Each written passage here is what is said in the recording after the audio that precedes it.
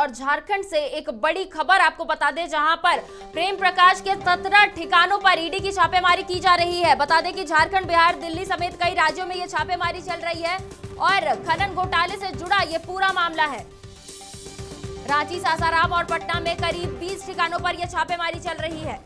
सुबह पाँच बजे से यह छापेमारी की जा रही है और इसमें कई बड़े नाम जो है वो सामने आ सकते हैं। दिल्ली और तमिलनाडु में भी प्रेम प्रकाश के ठिकानों पर यह छापेमारी की जा रही है। तो कुल मिला देखा जाए तो प्रेम प्रकाश पर ईडी की दबिश लगातार बढ़ती जा रही है और ईडी को कई आपत्तिजनक दस्तावेज़ भी मिले हैं। सूत्रों के हवाले से यह खबर सामने आ रही है।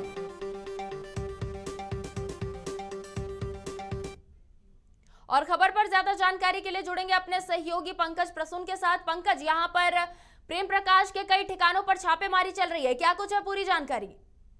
देखिए खुशबू सत्रह ठिकाने हैं जिन पे छापेमारी चल रही है। पहले खबर ये भी आई थी कि बिहार में जो छापेमारी चल रही है, वो सुबोध राय के घर, वो भी अवैध खनन से ही कुछ जुड़ा हुआ तार था। तो इसलिए तीन और ठिकाने उनके, हमने टोटल बीस ठिकाने बताए हैं दर्शकों को। तो अगर वो सुबोध राय के तीन ठिकानों को छोड़ दिया जाए, जो बिहार में चल रही छापेमारी तो झारखंड में, दिल्ली में, तमिलनाडु में इन तीनों जगहों पर कुछ सत्रह ऐसे ठिकाने हैं प्रेम प्रकाश के, जहाँ पे छापेमारी चल रही है फ़िलहाल। ये अवैध खनन से जुड़ा हुआ मामला है और आप दर्शकों को पता होगा कि पहले भी प्रेम प्रकाश को से ईडी पूछताछ कर चुकी है और ईडी ने अमित अग्रवाल को भी समन देकर बुलाया है। तो कुल मिलाकर जितने भी लोगों का नाम, जिसका समाचार प्लस ने पहले बताया था जिनसे पूछताछ हो सकती है अलग अलग मामलों में लगभग लगभग वो लिस्ट पूरी हो गई है और सभी को बारी बारी से एक एक करके बुलाकर पूछताछ की जा रही है।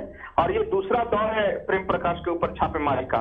पहले छापेमारी हुई कई चीज़ें पक, पकड़ी गई उनसे पूछताछ हुई।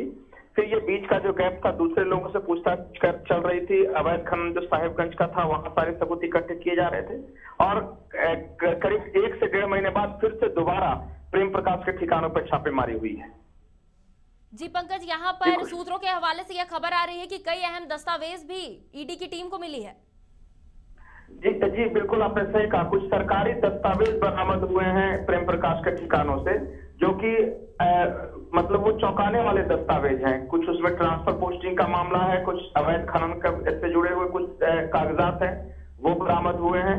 हालाँकि अभी ईडी की टीम या फिर कोई भी बताने की स्थिति में नहीं है कि एग्जैक्टली क्या है कि लेकिन इतना ज़रूर है कि वो सरकारी दस्तावेज़ थे तो प्रेम प्रकाश के या उनके सहयोगियों के निजी ठिकाने पर सरकारी दस्तावेज़ कैसे पहुँचे ये भी जाँच का विषय हो सकता है। पंकज इस पूरे मामले पर गोटा सांसद निशिकांत दुबे ने ट्वीट भी किया है। जी बिल्कुल वो निशिकांत दुबे ट्वीट करते रहते हैं और उन्होंने कहा भी है कि अब ये मैंने पहले ही बताया था कि अगस्त पार नहीं करेगा कुछ बड़ा होने वाला है। अब क्या बड़ा होने वाला है ये तो नहीं पता लेकिन ये जो आज छापेमारी हुई है वो निश्चित तौर पर भ्रष्टाचार के खिलाफ जो अभियान चल रहा है पूरे देश में।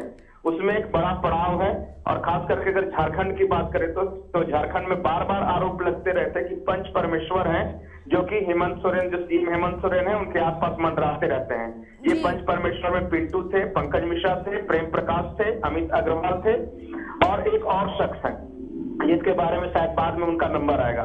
तो ये पाँचों जो पंच परमेश्वर में से चार परमेश्वर तो लगभग लगभग ईडी के रडार पे आ चुके हैं। देखिए आगे क्या होता है।